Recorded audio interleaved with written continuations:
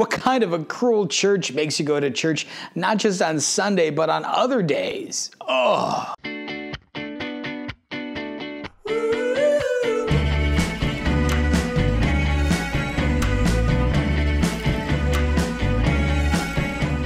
As Catholics, we go to church not just on Sundays, but also on what we call holy days of obligation.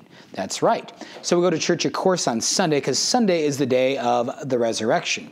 But we also go to church on other days. It's required of our faith. Why? Where do we get off doing such a thing? Isn't Sunday enough? Let's think about that. I mean, because what you're saying is, is that, well, if I go to church one day a week, I should never have to do anything else any other day of the week. You can't make me. But you know, in some senses, we already do, and even other Christian churches that don't have regular holy days of obligation do have Christmas Day. Christmas isn't always on a Sunday, is it? Nope. Christmas is always on the 25th, and the 25th floats around the calendar, right? Some years it's on a Sunday, some years it's not. And so uh, we have holy days of obligation, even if you're not a Catholic. Now, as Catholics, we just have other days that we're obliged to go upon. Why? The church, because she loves us, wants us to become holy. That's the main purpose of the church. The church is the body of Christ on earth to bring about the holiness of her members, the saints. That's the reason we're here, and that's the reason for everything righteous in the church.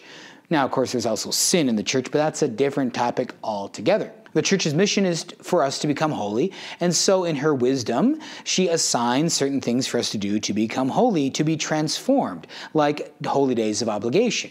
Now, just Sunday itself is an obligation. Some Christian churches don't see that as an obligation, but we do, echoing back from, of course, the Ten Commandments to keep holy the Sabbath day.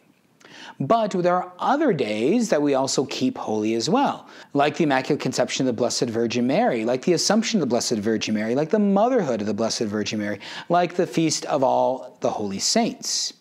We have these as holy days of obligation because it helps us become holy by doing holy things, by receiving the holy things. Our faith isn't just a matter of our willpower. Our faith is also a matter of our willpower in contact with God's grace, with God's word, to hear the word proclaimed. It's not enough just simply to read the word on your own, but to hear it proclaimed in the sacred assembly all these things the church does in order that we might become holy. Now, you might say, oh, it's kind of a hassle because maybe the Immaculate Conception feast is on a Saturday and I was going to go play soccer with some friends or whatever it might be. Tough bananas. Take the long view give up a game of soccer or whatever you're going to do on that Saturday and go to Holy Mass for the sake of eternity, for the sake of being conformed to the mystery of God and Jesus Christ. So while holy days of obligations may seem burdensome, they may seem to come out of the blue if we're not attentive in our Catholic faith, they are still a gift for your holiness. They're not just uh, the church trying to make things more difficult, but they are a gift for your holiness, the gift for you to become the living image of Jesus Christ. And that's the whole point. Why are we Christian? Because Christ desires to live in me and I desire to live in him.